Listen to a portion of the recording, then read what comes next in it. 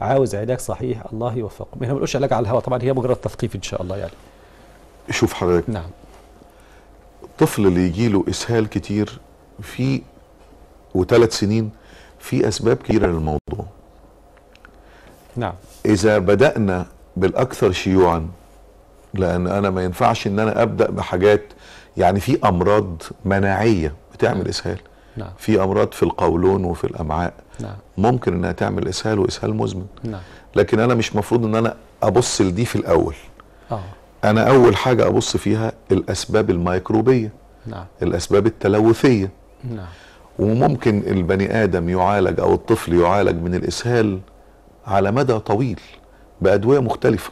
نعم. وما يتحسنش بسبب إنه مثلا ماء الشرب ما هواش جاي من مصادر نظيفة. عايش في منطقة مثلا في منطقة نائية في منطقة في وسط القاهرة وبرضه المية ما هياش نظيفة. ماشي. ما فيش مشكلة يعني. لكن إحنا مش هنلتف حوالين الحقائق. لكن إحنا لازم ننبه الناس. خدوا بالكم خدوا بالكم كويس جدا. ولابد من غلي ماء الشرب أو شرب المياه النقية بقدر الإمكان. وبنوجه كلام للمسؤول في الدولة. يا ريت بقدر الإمكان المية. المية مسألة في منتهى الأهمية. نعم. إنه لازم المية تبقى نظيفة. علشان ده هيقلل من على كاهل الدولة ومن ميزانية الدولة. فعلا، آه. أنا لما معياش مش هلجأ لدواء ما هو الدواء إحنا بنستورده. نعم. وإذا كان مصنع في مصر فإحنا بنستورد المادة الفعالة. إحنا في كل الأحوال بناخد نعم. بناخد من من قوتنا ومن اقتصادنا وبنقود من قدراتنا حول الإنسان عاطل بقى كده. منتج. وعندنا الماء فنفهم الناس الحفاظ على الماء والحفاظ على الماء نقيا. طيب دي مسألة في منتهى نستكمل الاهميه الإجابة يا دكتور بس ناخد أم جانا معانا. أيوه. اتفضلي يا أم جانا. السلام عليكم. وعليكم وعليكم السلام. ورحمة الله وبركاته. آه لو, سمحت عايزه اكلم الدكتور. اتفضلي يا فندم اتفضلي. اتفضلي ال- أنا عندي بنتي عندها سنة ونص وفطمتها يعني فطمتها يعني من أسبوعين. فبيقولوا لي الكل يعني بيقول لي إن هي غلط يعني عشان ما طلعتش أسنان. يعني غلط إيه يا فندم؟ معلش. غلط إيه تاني؟ مع منها يعني يعني ما طلعتش اسنان طلعتش سنان لسه. آه. ما طلعتش ولا سنة لغاية دلوقتي؟ لا ما طلعتش اسنان خالص. آه. لا, لا ولا واحدة. ولا واحدة. ورحتي لدكتور أطفال وقال لك إن ده شيء عادي؟ أنا رحت قالوا لي قعدها في الشمس. كويس. هل هي عندها أعراض كساح؟ لا هي بتمشي وكل حاجة طبيعية خالص. لا ما هو اللي عنده كساح يمشي برضه. هل القدمين الرجلين مقوستين لا مش كويسة كويس خالص. جدا كويس جدا. الجمجمه مش كبيرة حجمها مش كبير. هي هي عن هي عندها سنة ونص عندها هي عشرة كيلو. عشرة كيلو. و10 كيلو. كويس جدا. كويس 10 كيلو بالنسبة لسنة ونص مش بطال. ومحدش من الدكاترة اللي رحت لهم في وقت يعني قريب قال إن عندها أمراض أو مرض نقص كالسيوم فيتامين دي يعني حاجات زي كده. مفيش.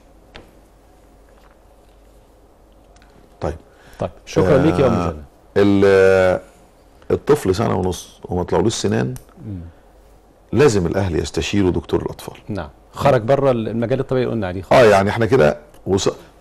لغاية دلوقتي مفيش مشاكل إن شاء الله آه. في الأغلب. آه. في الأغلب مفيش أي مشاكل. نعم. خصوصا ما دام قالت وهي ذكية لما ذكرت. إن الطفل بيمشي وإنه وزنها كذا والحاجات دي آه. كلها هي أمور يعني متناسبة ومتناسقة إلى حد كبير جدا. آه. يتبقى بس إن دكتور الأطفال يشوف ويقول إن خلاص إحنا أوشكنا على إننا نطلع سنان نعم. آه يحدد إن خلاص. الاختلاف استقبلها طبيعي ولا؟ لا بالظبط. أو محتاجين مساعدة بالشكل الفلاني. نعم نعم نعم. طيب.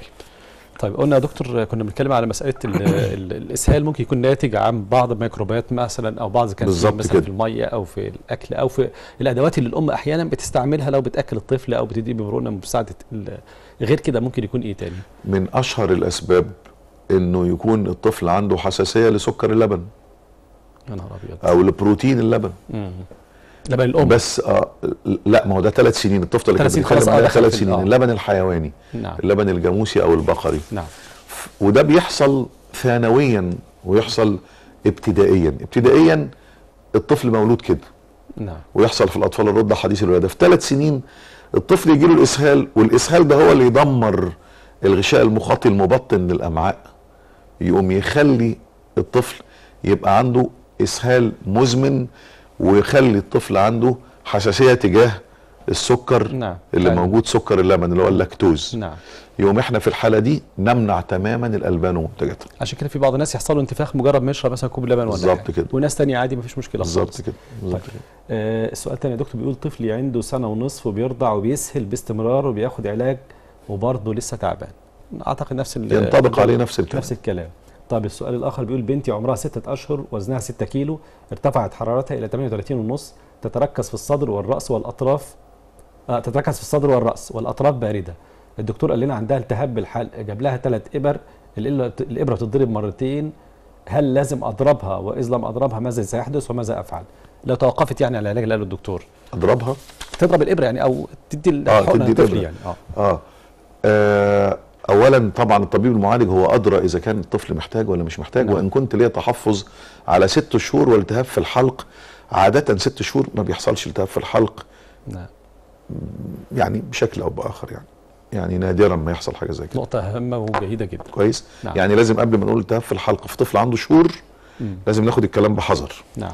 دي رقم واحد. رقم نعم. اتنين إنه الطفل اللي عنده حرارة دايما الأطراف بتبقى ساقعة وبيبقى أجزاء كتيرة من الجسم ملمسها مختلف. أنا ماليش دعوة بالملمس.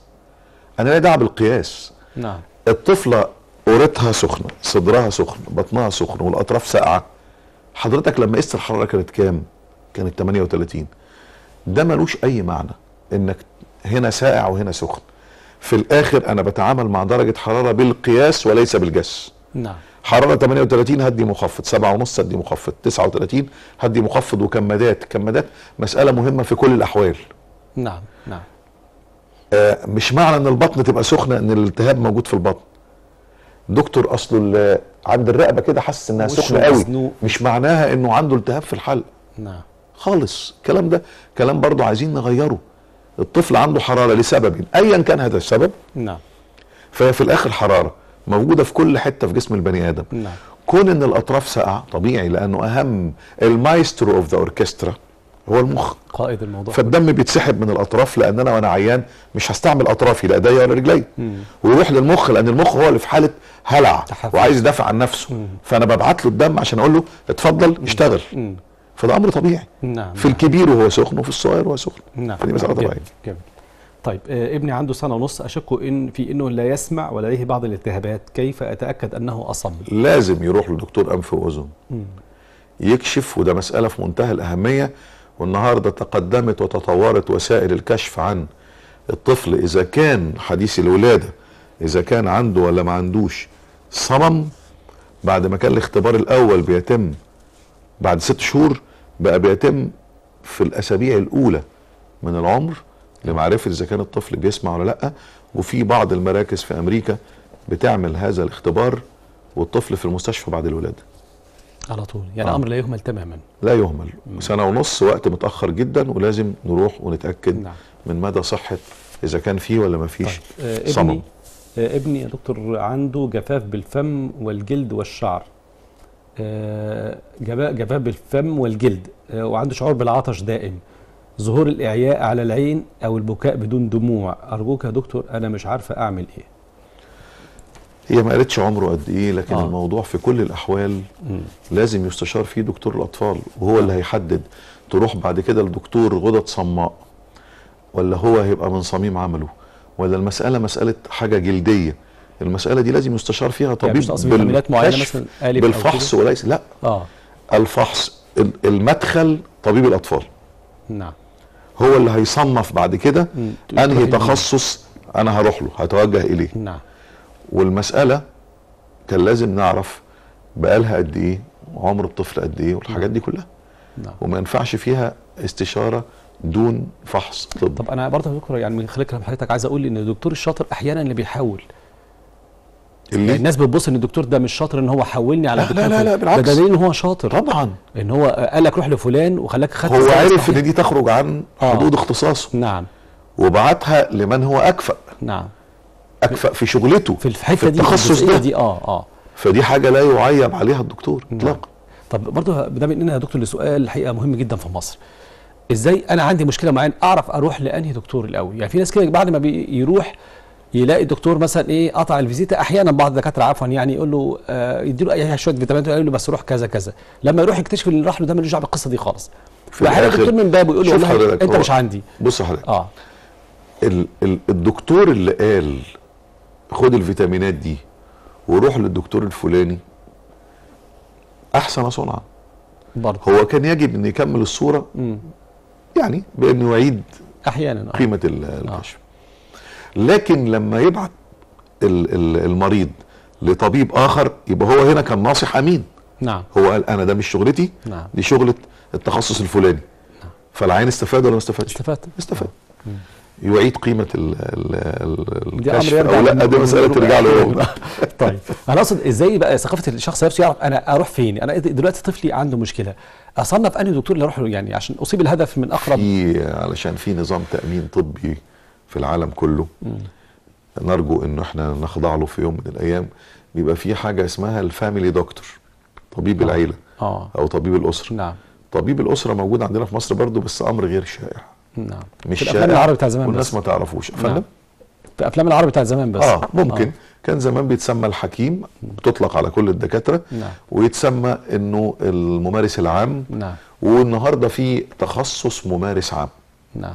فتخصص الممارس العام هو اللي حضرتك بتسأل عنه ده. هو بقى يديك معلومات يقول. آه الموضوع ده أنا هعمله. مم.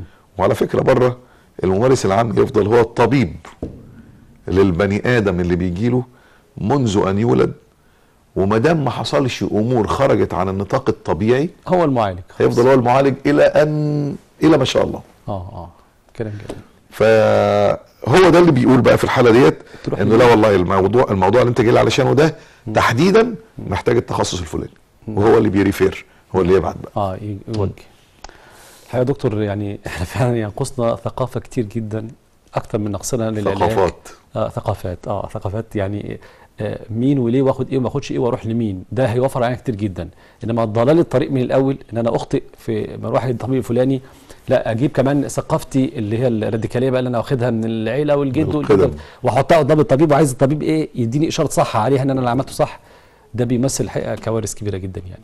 دي حقيقة؟ آه. وحاجة أخيرة في اتفضل. كلمة أو في جملة واحدة. اتفضل. هي إنه في واجب على الطبيب إنه لما يجي يقول المريض أي تعبير يخرج عن النطاق المألوف العلمي الصحيح ويخضع أكتر للتراث والتقاليد اللي أحيانا بتبقى مقبولة وأحيانا بتبقى بالية وخاطئة لازم يصحح المعلومة نعم. ويبلغ الطبيب لأنه سكوته على أساس إنه يشتري دماغه بقى. سكوته بيثبت المعلومة الخاطئة لدى المريض ودي مسؤولية الطبيب. نعم نعم. الحاجة معاك هيبقى قولي لها بس تقول لك تعمل إيه شكرا ليك يا دكتور. مشاهدينا الكرام في هذه الفقرة الطبية أنا بتوجه باسمكم بالشكر للدكتور أشرف مصطفى قاسم أخصائي طب الأطفال وحديثي الولادة. شكرا لك. فندم ونورتنا. وإن شاء الله يعني يكون لنا معاك صولات وجولات. إحنا ما كملناش ربع الأسئلة اللي كانت إن معانا شاء الله بإذن نورتنا يا دكتور. الله يخليك. مشاهدينا الكرام إن شاء الله فاصل قصير ثم نعاود معكم الاتصال وفقرة أخرى بإذن الله في صحة حواء.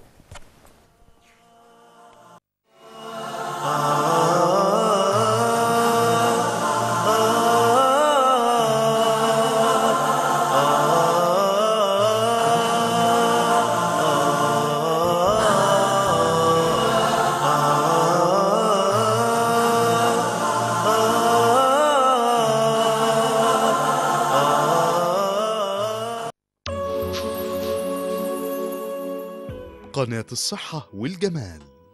لون جديد للحياة.